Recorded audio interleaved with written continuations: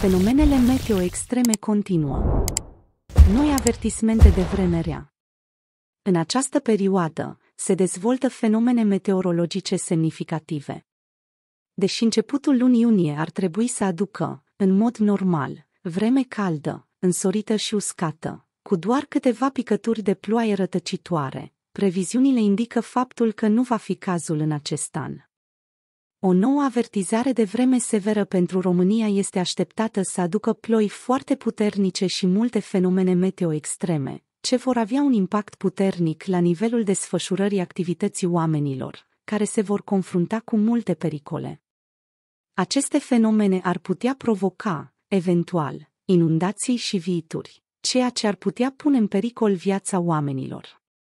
Autoritățile din întreaga țară sunt în stare de alertă deoarece cantitățile de apă impresionante cumulate aduc străzi și orașe inundate. Noi alerte de vreme rea. Se pare că avertizările meteo cu privire la vremea rea ce se vor aplica în cadrul întregului teritoriu nu se apropie de final.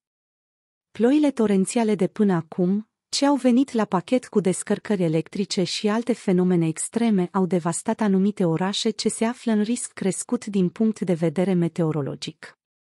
Situația limită continuă, iar experții avertizează că și în următoarea perioadă ne vom confrunta cu o instabilitate la nivelul fenomenelor în anumite zone ale țării.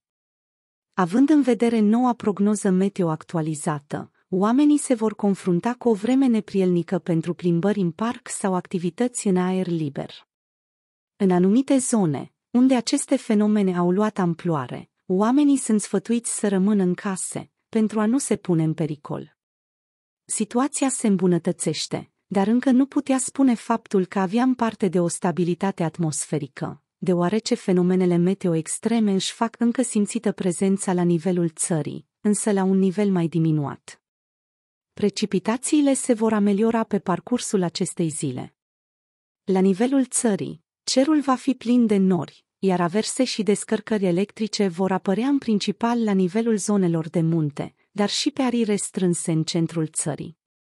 În Oltenia, zona care a avut cel mai mult de suferit de pe urma fenomenelor extreme de vreme rea, cerul prezintă momentan înnorări.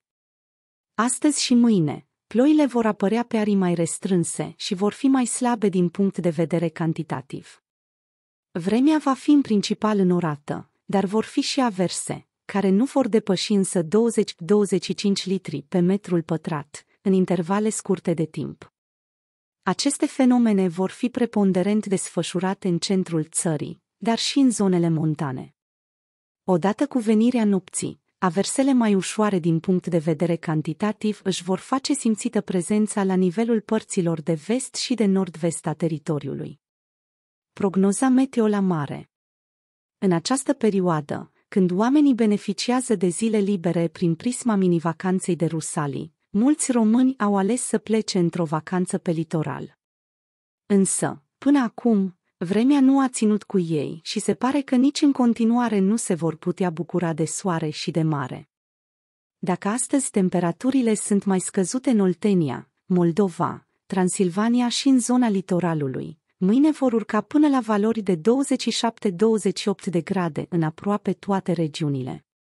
Până la mijlocul acestei săptămâni, Ploile nu vor fi însemnate cantitativ și se vor semna la îndeosebi în jumătatea de vest a țării. Doar în zona litoralului se va înregistra o scădere ușoară a temperaturii, până la o maximă de 22-23 de grade, temperaturile păstrându-se în jurul valorii de 20 de grade, conform Antena 3.